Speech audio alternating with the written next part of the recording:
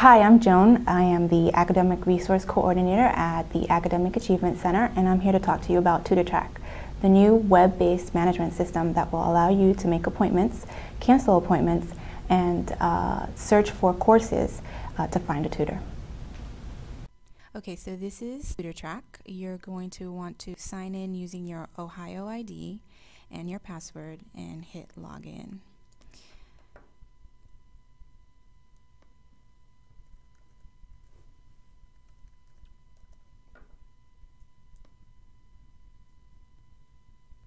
So this is the main menu. You'll see student options here on the left. You're going to want to click on search availability.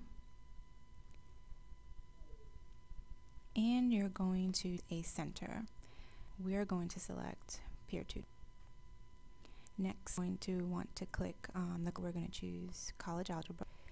And you're going to want to select the time period and the days. So I want to find a tutor for this course for Monday, Wednesday, or Friday between 7 in the morning and 7 p.m.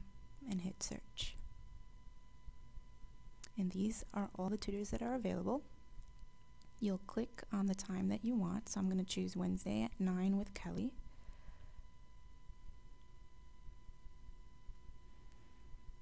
All you'll see here is your name, the tutor, the center, the course. You have to choose a reason. So I'm going to choose homework help. And I'm going to hit save. At this point, you'll come back to the schedule and you should be receiving a, a confirmation email at your Ohio email account. And that's all you need to do to request a tutor.